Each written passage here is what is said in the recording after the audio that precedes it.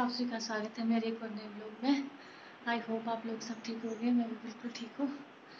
काम मेरा हो गया है और अभी टाइम हो रहा है ग्यारह बज के। आज मैं काम करने में थोड़ी लेट होगी। सुबह थोड़ी लेट उठी थी तो इस वजह से। तो अभी मेरा काम उठा है। आटा वाटा मैंने लगा दिया, सब्ज़ी बना दी। पापा ड्यूटी गई हैं, आएँगे जब खाना वाना खाएँगे। और मैंने आपको बताया था कि मैं सुबह नहा के पूजा कर लेती हूँ, लेकिन गर्मी अब इतनी हो रखी है कि काम करके एक बार फिर नहाना पड़ता है। तो अभी मैंने काम ख़त्म कर लिया है सब निमट गया है झाड़ू पोछा ए टू जेड। और अभी मैं नहा लेती हूँ फिर थोड़ी देर में हम खाने बनाएँगे तब तक के लिए बाय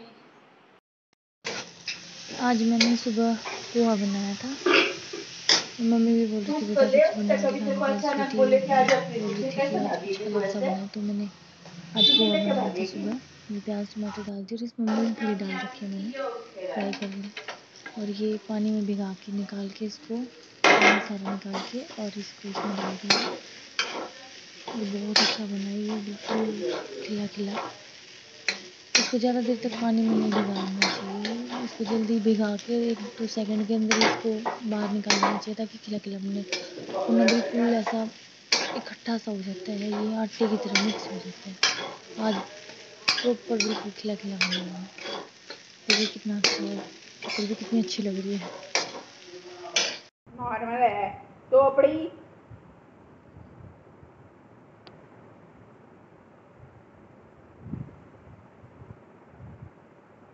उनका सगा भाई अरेस्ट हो गया। ड्रग्स के केस में।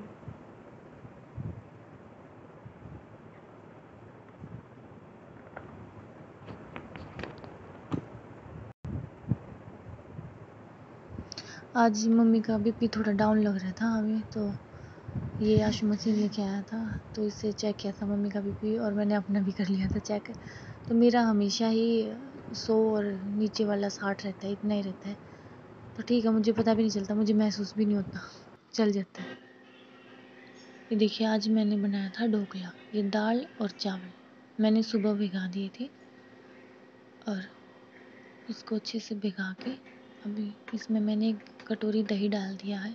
अब मैं इसको मिक्सी में पीस लूँगी अच्छे से, दही डालने के बाद। ये देखिए, मैंने पीस के ये बिल्कुल बारीक कर लिया है।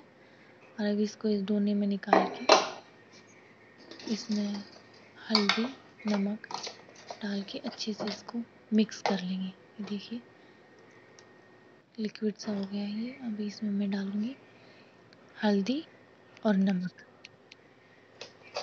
और ये हल्दी और नमक डालने के बाद इसको मैं अच्छे से फेंट लूँगी। जितना हो सके आप लोग उतना अच्छे से मतलब इसको फेंटोगे उतना इसमें हवा घुसेगी तो उतना ही अच्छा स्पंजी बनेगा। और ये साइड में मैंने कड़ी पत्ता रख रखे हैं। हमारे घर छोटा सा पौधा है कड़ी पत्ता का तो उस पर से तोड़ लेते हैं ताकि जैसे मार्केट में मिल जाते हैं। देखिए बिल्कुल अच्छे से इसको मिक्स कर लिया इसको अच्छे से मिक्स नहीं करोगे तो जो हमने अभी हल्दी डाली है तो उसकी गांठें रह जाएँगी कहीं कहीं हल्दी ऑप्शन है। अगर आप मन है तो आप डाल सकते हो, वरना नहीं डालने से चलेगा हल्दी इतना ज़रूरी नहीं है कि डालना ज़रूरी है। बाकी एक शक्ल भी होती है किसी चीज़ की तो उस वजह से थोड़ा अच्छा लुक अच्छी आ जाएगी। इस वजह मैंने इसमें डाल दिया बेकिंग पाउडर बेकिंग पाउडर डालने के बाद थोड़ा सा अच्छे से फेंकेंगे इसमें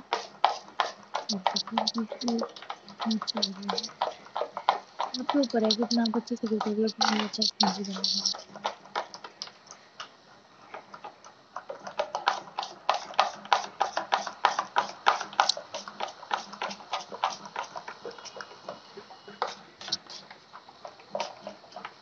देखिए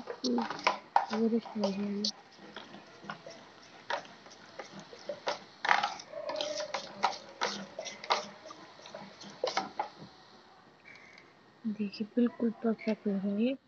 अब हम इसमें थाली में ये घी लगा के इसके चारों तरफ़ इसमें इस पेस्ट पे जो हमने बनाया है इसको डाल देंगे इसमें करके देखिए, पूरी थाली में अच्छे से किनारों पे भी ऊपर की तरफ़ ताकि चिपके ना घी लगा के और इसमें डाल के फिर रख देंगे। देखिए प्रॉपर तरीके से लगाना है, ऊपर नीचे साइड में मतलब अच्छे से लगाना है। वरना तो किसी जगह पे भी बांधने में टूट जाएगा ये सब मदद से निकालना है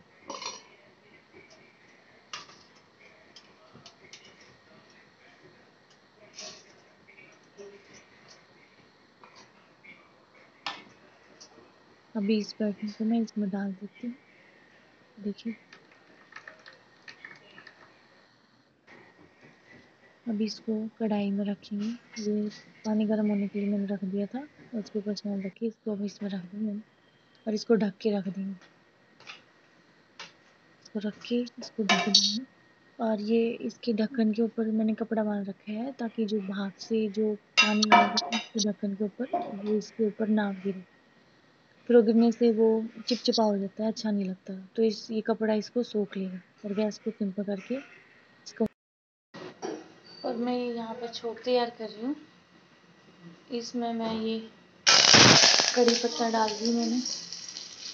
ये ताज़ी है कड़ी पत्ता और ये बाहर से भी आते हैं, लेकिन हमारे घर पे इसका पौधा है छोटा सा तो मैंने वहाँ से तोड़ ली। और इसमें ये राई।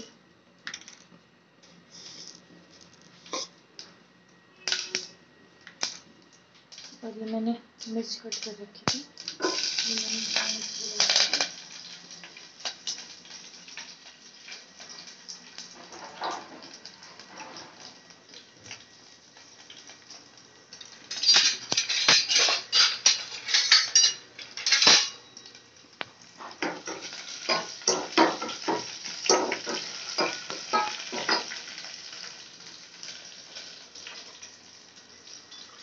और अभी इसमें मैं डालूँगी पानी।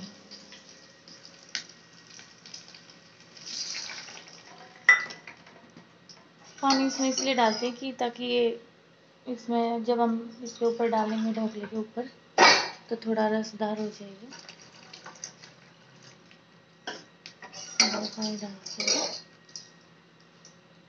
और अगर आपको अच्छा लगे खट्टा मीठा तो आप इसमें हल्का सा मीठा भी डाल सकते हो। मैं खट्टा मीठा ही खाती हैं हमारे घर में सब। तो मैंने इसमें मीठा भी डाल दिया है।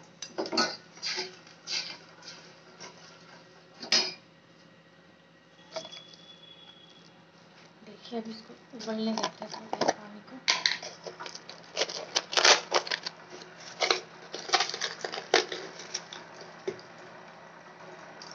और इसमें हल्का सा मैंने डाल दिया है ना।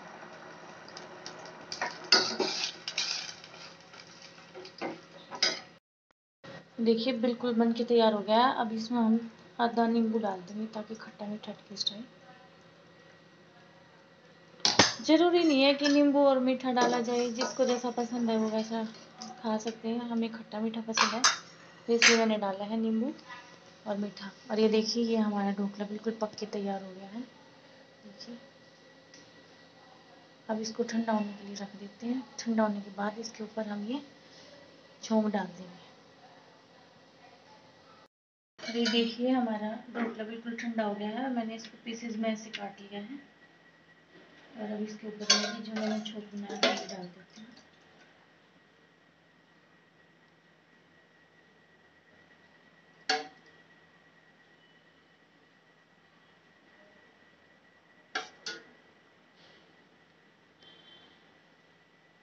ये पानी थोड़ा ज़्यादा मतलब ये जो मैंने बनाया है, ज़्यादा पीता है तो ये थोड़ा थोड़ा थोड़ा थोड़ा करके इसमें डालती रहेंगे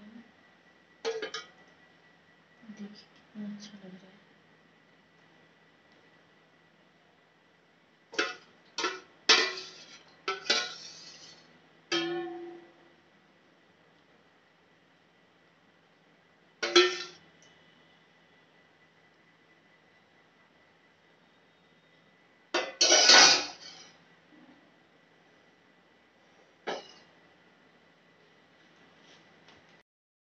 हाँ जी तो अभी टाइम हो गया है, नौ बज गए हैं और काम मेरा सारा ख़त्म हो गया है। दूध वगैरह मैंने सबको दे दिया, दही वही जमा के सब। अभी मैं अपने कमरे में आ गई हूँ। गर्मी बहुत ज़्यादा हो रखी है, बिल्कुल ऐसा बेचैनी। बोलते टाइम भी ऐसा हो जाता है कि बस मत बोलो, सांस चढ़ जाते हैं। तो उम्मीद करती हूँ आप लोग सब ठीक हो गए। गर्मी से बचे रहो, बहुत ज़्यादा गर्मी हो रखी है। अपना काम करके अंदर घुस जाओ घर में, बस। धूप जाने के बाद ही निकलो। मौसम थोड़ा सा ठीक हो जाएगा। बारिश वारिश आ जाए तो थोड़ा बहुत मौसम में फ़र्क भी पड़ जाए, लेकिन बिल्कुल ही कोई मतलब ही नहीं है बारिश का तो की बार तो इतनी गर्मी हो रखी है हाथ धो रखा है गर्मी का बिल्कुल। तो अभी थोड़ी रात से मिल रही है, बैठी हूँ अपनी कमरे में। तो यही था हमारा आज का ब्लॉग आई होप आप सब लोगों को पसंद आएगा। और मैं उम्मीद करती हूँ कि आपको पसंद आए, क्योंकि मैं जितना मुझसे हो पा रहा है, उतना मैं कर रही हूँ। और मैं आप लोगों को बार बार बोलती हूँ कि अगर कुछ कमी है तो प्लीज़ आप कमेंट करके बताओ कि मैं और क्या करूँ। और मैंने ये जो ब्लॉग बनाना शुरू किया है, बहुत सोच समझ के, बहुत यूँ करके कि घर बैठे हैं, घर बैठने से तो क्या ही है, आप लोगों से बात हो जाएँगी, दुनिया का पता चलेगा कौन कैसा है। मतलब ठीक है, अकेले बैठने से तो अच्छा ही है, कोई बात करने के लिए आप लोगों से बात हो जाती है इस बहाने। तो बस। आज का इतना ही था और आई होप आप लोगों को पसंद आई। प्लीज़ मेरे चैनल को सब्सक्राइब करो। प्लीज़ मैं आपसे रिक्वेस्ट करूँ। प्लीज़ मैं रिक्वेस्ट करूँ। प्लीज़ मेरे चैनल को सब्सक्राइब करो लाइक और शेयर करो। प्लीज़ मैं आपसे बार बार रिक्वेस्ट कर रही हूँ। प्लीज़ मदद करो सपोर्ट आप लोगों का सपोर्ट होगा तभी तो कुछ कर पाएँगे। एक बार ऐसा मन हो जाता है, मन टूट जाता है कि बस अब नहीं होगा, रहने दी। नहीं होगा। पर घर वाले जैसे मेरी बहन है, बोलती है कि नहीं, हो जाएगा धीरे धीरे करती रहो, हो जाएगा तो थोड़ी और हिम्मत बढ़ती है।